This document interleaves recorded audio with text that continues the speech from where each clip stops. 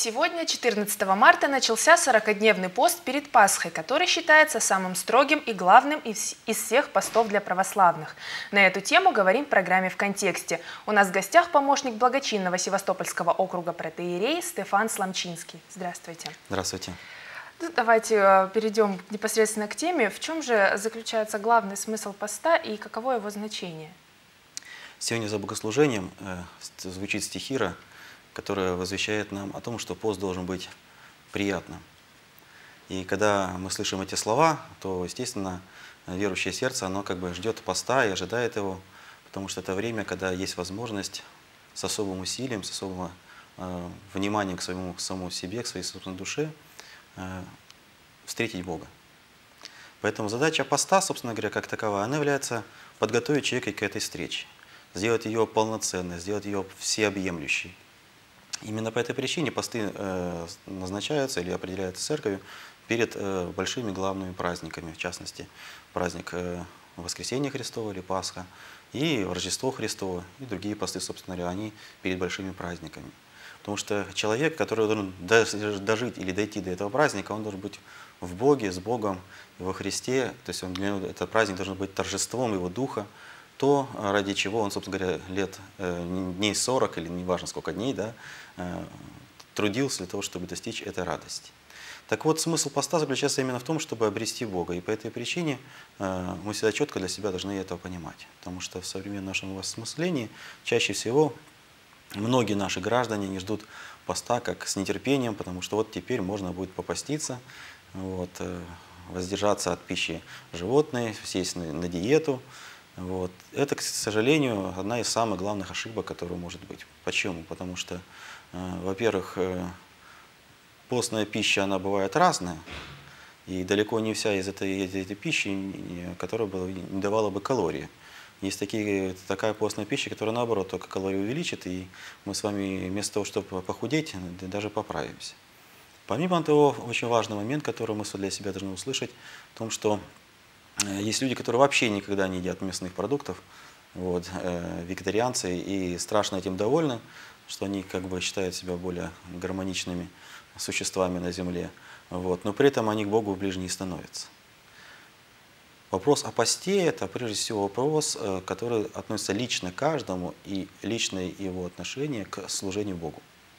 Поэтому как поститься, в чем поститься – Каким образом поститься? Это вопросы, которые мы сами себе задаем и, собственно говоря, определяем по согласно своему внутреннему духовному развитию, росту. Вот. Но самая главная тенденция, чтобы этот рост действительно был. Чтобы не получилось так, что мы с вами загнали себе какие-то правила и какие-то э, традиции, и, держась только этих традиций и правил, э, перестали иметь духовный рост внутри самого себя. Поэтому первое, как бы, что хотелось бы сказать, как поститься. Ну, для начала нужно как говорит нам Святое Писание, радоваться. Вот это первый признак, э, к которому можно было действительно обратить внимание. Действительно, надо радоваться чему? Радоваться посту, радоваться э, служению Богу, радоваться э, все, что происходит вокруг нас. Потому что даже Евангелие нам говорит, если постишься, то не делай себя печальное такое унылое лицо, не, а наоборот помажь маслом, то есть умасти себя, сделай себя модным, будем так современным языком скажем чтобы никто даже не помышлял, что ты постишься. Вопрос радования – это вопрос серьезный, потому что многие из нас допускают такую ошибку, они надевают такие, такие мрачные выражения лица, э, я пощусь, вот, я сейчас в строгом посте нахожусь, я так в духовной жизни нахожусь, а вот вы все в ней не находитесь. Проблема э, развивается дальше, и получается, что, в общем-то, мы с вами волей-неволей, вместо того, чтобы бороться со своими внутренними проблемами и страстьми, которые находятся в каждом сердце человека, мы обращаем бороться с страстьми и проблемами других людей. И поэтому, получается, пост у нас перекладывается вместо работы над собой, работа над кем-то другим. То есть мы всем доказываем, что мы постимся. Вот вы все знаете, что я вот пощусь, я вот хороший, я правильный, а вот вы неправильный. Появляется осуждение. Или наоборот. В этом отношении очень хорошо в свое время ответил на этот вопрос э, э, преподобный Иоанн Лесточник, который сказал, что говорил словами простыми, говорит, один говорит, и постящийся тщеславится, и не постящийся тщеславится. И то, и другое плохо. Как ни странно. Нам кажется, ну как же, а как же нам быть? Вот именно, э, пост должен быть совершенством, Мы должны победить это тщеславие внутри самого себя. Один тщеславится тем, что он постится, доказывает всем, что он такой строгий, он такой правильный, он такой умный, он такой хороший, он такой прекрасный молитвенник и постник. А другой, наоборот, пренебрегает всем и говорит, да, я вот здоровый образ жизни и так веду, зачем это мне все надо. И в том вот варианте и в другом человек, в общем-то, э, прежде всего не приближается к Богу, это раз. Он служит больше самому собственному «я», и служит своему собственному телу или есть своему собственному я, чем, чем э, растет своим духом, приближаясь к Богу. И с вопросов, которые хотелось бы как бы заметить, что, что же все-таки нужно делать во время Великого Поста, и чтобы полезно было для души, то, конечно же, первый вопрос, который мы, это прежде всего вопрос молитвы. Молитва – это разговор с Богом. Молитва, безусловно, должна быть, она в жизни христианина. И не только в пост, а вообще всегда. Ну а так как пост наступает, это вопрос э, духовного делания, то есть, соответственно, и усиление молитвы должно быть. Но молитва должна быть не в том, чтобы мы на две странички молитвослова больше прочитали. Молитва должна быть сердцем, молитва должна быть осознанной, молитва должна без суеты быть, без того, чтобы мы э, с вами думаем, сейчас дочитаю и быстрее побегу э, в контакт, да, с своим друзьям переписку делать. То есть это та суетность, которая вынуждает нас думать о контакте, а не о молитве. Она, вот, э, собственно говоря, крадет молитву как таковую и, собственно, бесплодным делает саму молитву. Мы не молимся, мы э, вычитываем. Поэтому поработать над тем, чтобы молиться и молиться сердцем, это правильно, это хорошо. Помимо того, э, очень полезно пост, это, например, читать Святое Писание. Очень полезно, потому что мы с вами Э, все знаем о Евангелии, но мало кто знает, знает, а что в Евангелии написано. Ну, конечно, мы когда начинаем рассказывать, что мы знаем, что Иисус Христос проповедовал, мы даже цитируем да, это Евангелие, но, собственно говоря, э, о содержании и смысл этих поучений и наставлений далеко не всем нам известно. А вот это благочестиво, хорошая традиция, читать Священное Писание вот в периоды постов. Их и так надо читать, но вот есть возможность такая. Таким образом проявить некий свое Э, усилия на своей духовной жизни, увеличивая таким образом какую-то свою духовную, духовную работу. Ну, потому что чтение Священного Писания – это Божественное Откровение, прежде всего чтение Божественного Откровения дает нам силы духовные. Особое внимание, которое хотелось бы определить, еще то, что в это время можно оказывать внимание близким. Близким своим, знакомым, родным, и в том числе оказывать дела милосердия, благотворительности, участвовать в делах благотворительности. Многие говорят, таким образом я могу участвовать в делах благотворительности. Да, таких примеров множество, на самом деле. Во-первых, вокруг нас очень много людей нуждающихся, это раз. Во-вторых, э, если это с желанием, то всегда их можно найти, это два. Вот. Ну а как это делать? Ну, можно самым простым способом делать. Просто, э, ну, если, допустим, даже доходы наши невелики какие-то, да, допустим, но тем не менее, можно выкроить и принципиально сказать, вот сегодня я, э, допустим, пью, допустим, эм, кофе с двумя булочками, а сегодня буду весь пить кофе с одной булочкой. Ну, можно всегда и делом И помочь. остатка, остатки этой, разницы в этой, в этой булочке пойти и потратить эти средства уже на реально тому, кто никому не нужны. Если вы не хотите там, некоторые смущаются, видя э, людей, которые находятся на улице, допустим, э, оказывать им некую помощь, хотя это, в общем-то, тоже такой, знаете, осторожный, конечно, подход должен к ним, но, тем не менее, иногда Господь Э, проверяет нашу веру, является в таком в нищем таком состоянии, для того, чтобы показать, а на что вы, человеки, вообще способны. И мы, к сожалению, очень часто очень грубо подносимся к друг другу. Так что вопрос о посте, вопрос это прежде всего, э, так я бы обобщил, что очень важно, это личный вопрос.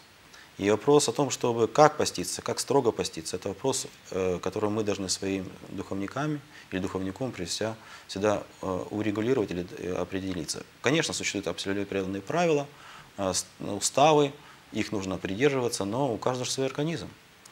У одного есть язва желудка, у другого какие-то проблемы там, с обменом веществ, у третьего какие-то заболевания, которые связаны, которые можно пищу одну есть или другую. И получается, что если мы сейчас начнем придерживаться строгих правил или э, монастырских уставов, то мы вместо того, чтобы э, помочь свое, своему телу, мы обострим заболевание, которое внутри нас хронически существует, и закончится э, праздник в больнице. Хорош, хорошо попастились, да Богу такое не надо. Поэтому вопрос о регулировании, как поститься, как строго поститься, это, конечно, каждый должен делать индивидуально своим собственным духовником. Ну и последнее желание или пожелание, старайтесь смотреть в другую чужую тарелку. То есть кто что ест, Как он ест, это не наш с вами вопрос, э, потому что один, может быть, ест, но зато молится всю ночь. Знаете, а другой, может, э, не ест, но зато спит всю ночь. Поэтому у кого какие возможности есть, каждый пусть сам для себя поставит, что я могу в пост сделать так, чтобы стать лучше, чтобы я меньше грешил, чтобы я избавился от своих страстей, которые у меня больше всего наболевшие есть. У каждого они свои. Одно, один любит поболтать, например. Значит, надо уйти разговор. Другой любит посмотреть телевизор. Третий любит посидеть в интернете. Четвертый любит там просто полениться. Ну, ленится человек, что теперь делает. Расслабляется, пришел и ленится. Поэтому каждый может поставить задачи. Или ограничить время доступа к своим увеличениям, э, развлечениям каким-то, да, то, что расслабляет его. Или, например, ставить перед собой задачу, чтобы работать, трудиться. Это тоже будет своего рода пост. Ну, то есть главное это духовное именно развитие. Конечно. Ведь пост ради этого и дается. Он не дается, чтобы мы поголодали. Ведь э, мы забываем, почему, собственно говоря, раньше издревле э, накладывались такие именно правила поста. Потому что, чтобы монахи, которые такие правила исполняли, кто жили при монастырях, не тратили свои время и средства и деньги на еду. Поэтому они питались сухоедением. Что такое сухоедение? Сухоедение, по сути дела, это финики, смоквы, всевозможные, то, что уже было готовый продукт. Пошел, кинул в рот, переживал, узварчиком запил и все. И на этом все заканчивалось. То есть он не тратил деньги, чтобы, деньги, и деньги, и средства, и время, да, чтобы развести костер, чтобы вываривать там эту рыбу или это мясо, возделать. То есть таким образом он, у него появилось огромное количество дополнительного времени, которое он мог потратить на, для духовной работы в своей собственной жизни. Ну а мы сейчас это утеряли, и у нас кажется, что главное для Бога это едение калорий или не едение калорий. Ну, все мы люди, и все равно в течение, ну не только во время поста, а вообще в течение нашей жизни возникают различные соблазны. Вот как можно а, от этого воздержаться? Ну, во-первых, выбор у нас есть всегда. Вот, и по этой причине, э, если есть выбор, то мы сами должны и определиться. Как говорит апостол, все мне можно, но все мне полезно. Если это мне вредно, зачем я это буду делать? Поэтому соблазны, безусловно, они существуют, они есть, они вокруг нас, но эти соблазны часто входят через нас самих, наше собственное сердце. Поэтому нужно учиться останавливать соблазны вне себя. Что для этого? Для этого, конечно, нужна духовная трезвенность была духовной трезвенности. Что такое духовная трезвенность? То есть ты понимаешь процессы, которые вокруг тебя к тебе приближаются, и ты значит, оцениваешь ситуацию, нужно ли тебе в этом участвовать или не нужно тебе в этом участвовать. Если ты не чувствуешь нехватку сил, такое тоже есть, потому что благодаря этим соблазнам э, мы грешим, а благодаря грешим мы жизнь свою превращаем постоянно в порочную жизнь, э, страсти прямо доминируют нас, то мы теряем волю. А человек, который потерял волю, он уже не способен противостать соблазну. Соблазн только, только как колокольчик зазвенел, да, и мы тут же окунаемся целиком и полностью в него. Что для этого требуется? Для этого требуется, опять же, духовная работа над самим собой. Опять же, тоже воздержание, тот же пост, тот же молитва, покаяние. Поэтому все эти возможности э, мы в пост можем применять и уходить от соблазна. Спасибо большое, что пришли к нам в эфир э, за полезную информацию во время Великого Поста. Напомню, о Великом Посте говорили с помощником благочинного Севастопольского округа протеереем Стефаном Сламчинским. Эфир информационного канала Севастополя продолжается. Впереди еще много интересного. Оставайтесь с нами.